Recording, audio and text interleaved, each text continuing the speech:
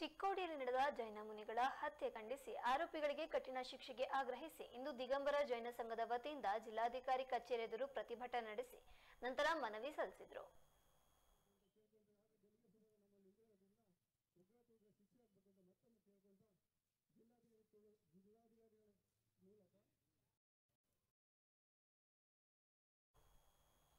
ಜೈನ ಮುನಿಗಳಾದ ನಂದಿ ಮಹಾರಾಜರನ್ನ ಅಪಹರಿಸಿ ಅಮಾನುಷವಾಗಿ ಚಿತ್ರಹಿಂಸೆ ನೀಡಿ ಬರ್ಬರ ಹತ್ಯೆ ಮಾಡಲಾಗಿದೆ.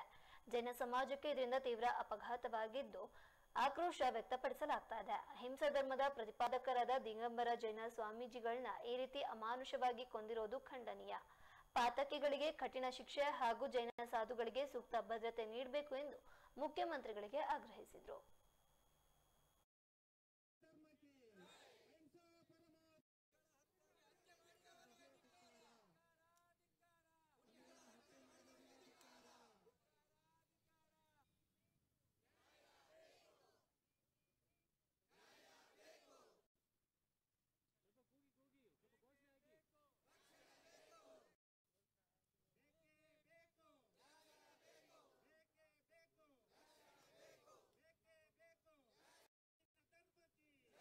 ಮುನಿಗಳ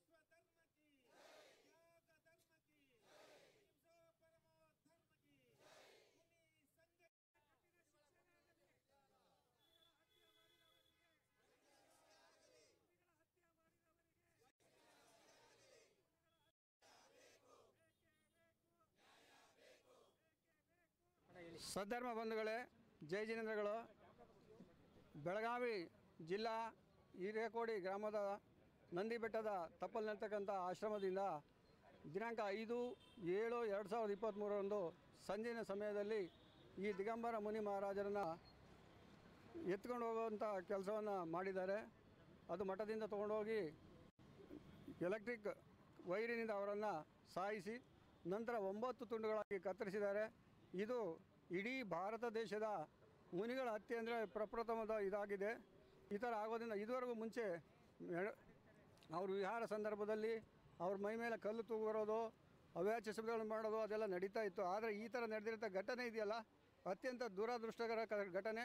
ಅದು ಈಗ ಚಾತುರ್ಮಾಸ ಸಂದರ್ಭದಲ್ಲಿ ಕೆಲವು ದಿನ ಅವ್ರು ಏನು ಮಾಡ್ತಾರೆ ಅಂದರೆ ಒಂದು ದಿವಸ, ಎರಡು ದಿವಸ, ವಾರಗಟ್ಟಲೆ ಉಪವಾಸವನ್ನು ಕೂಡ ಮಾಡ್ತಕ್ಕಂಥ ಸ್ವಾಮಿಗಳು.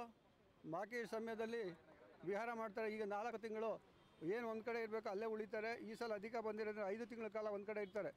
ಆದರೆ ಅವರನ್ನು ಎತ್ಕೊಂಡು ಹೋಗಿ ಎಲೆಕ್ಟ್ರಿಕ್ ಶಾಕಿಂದ ಸಾಯಿಸಿ ಒಂಬತ್ತು ತುಂಡುಗಳಿಗೆ ಕತ್ತರಿಸತಕ್ಕಂಥ ಆ ದೃಶ್ಯವನ್ನು ನೋಡಿದಾಗ ನಮ್ಮಲ್ಲಿ ಕಣ್ಣೀರಲ್ಲಿ ನೀರೆಲ್ಲ ರಕ್ತನೇ ಬರ್ದಂಗೆ ಆಗ್ತಾ ಇತ್ತು. ಆದರೆ ಈ ಥರ ಹೇಗೆ ಕೃತ್ಯ ನಡೆದಿರೋದು ನಮ್ಮ ಅಲ್ಪಸಂಖ್ಯಾತರಲ್ಲಿ ಅಲ್ಪ, ಅಲ್ಪಸಂಖ್ಯಾತರಾದ ಈ ಜೈನ ಧಾರ್ಮಿಕರಿ, ಜೈನರಿಗೆ ದುಃಖಕರದ ಸಂಗತಿಯಾಗಿದೆ. ಇದೇ ಕೆಲಸವನ್ನು ಬೇರೆ ಯಾವುದಾದ್ರು ಧರ್ಮದಲ್ಲಿ ಮಾಡಿದರೆ ಊರ, ಊರೇ ಬೆಂಕಿ ಎತ್ಕೊಂಡು ಹುರಿತಾ ಇತ್ತು. ನಾವು ಅಹಿಂಸಾ ಪರಮೋ ಧರ್ಮ ಅಂತ ಯಾರಿಗೂ ಕೂಡ ದುಃಖ ದುಃಖವನ್ನು ಉಂಟು ಮಾಡ್ತಕ್ಕಂಥವರಲ್ಲ ಬದುಕು ಮತ್ತು ಬದುಕಲು ಬಿಡು ಹೇಳ್ತಕ್ಕಂಥ ಧರ್ಮ ನಮ್ಮದು ಒಂದು, ಎರಡನೇದಾಗಿ ಆ ಕೊಲೆ ಮಾಡಿದಂಥ ಅಪರಾಧಿ ಜೈಲಿಯಲ್ಲಿದ್ದರೂ ಕೂಡ, ಕ ಜೊತೆಯಲ್ಲೇ ಇದ್ದರೂ ಕೂಡ ಅವನು ನಾಟಕೀಯ ಮಾಡ್ಕೊಳ್ತಾ, ಹೌದಾ, ಹುಡ್ಕೋಣ, ನಾನು ಬರ್ತೀನಿ ಅಂತ ಒಂದು ದಿನಗಳನ್ನು ಸತಾಯಿಸಿದ್ದಾನೆ. ಕೊನೆಗೆ ಕಚೇರಿ ಎಲ್ಲರಲ್ಲಿ ವಿಚಾರಿಸಿದಾಗ ಅವರ ಮೇಲೆ ಮೇಯ್ನ್ ಯಾರು ಓಡಾಡ್ತಾ ಇದ್ದಾನೆ ಅವರಿಬ್ಬರು ಸಿಕ್ಕಿದ್ದಾರೆ. ಅವರನ್ನು ಚೆನ್ನಾಗಿ ವಿಚಾರಿಸಿ ಕೇಳಿದಾಗ ಒಪ್ಕೊಂಡಿದ್ದಾರೆ. ಫಸ್ಟು ನದಿಗೆ ಹಾಕಿದ್ದೀನಿ, ಭತ್ತದ ಗದ್ದೆಗೆ ಹಾಕಿದ್ದೀನಿ, ಊರಲ್ಲಿಂದ ಆಚೆ ಇರೋ ಬಾವಿಗೆ ಹಾಕಿದ್ದೀನಿ ಅಂತ ಹೇಳಿದಾಗ ಅವೆಲ್ಲಗಳು ವಿಹಾರ ಮಾಡ್ತಾರೆ. ವಿಹಾರ ಸಂದರ್ಭದಲ್ಲಿ ಈ ಚಾತುರ್ಮಾಸ ಸಂದರ್ಭದಲ್ಲಿ ನಮಗೆ ಅಲ್ಪಸಂಖ್ಯಾತ ಅಲ್ಪರಾದ ನಮಗೆ ಸರ್- ಸರ್ಕಾರದ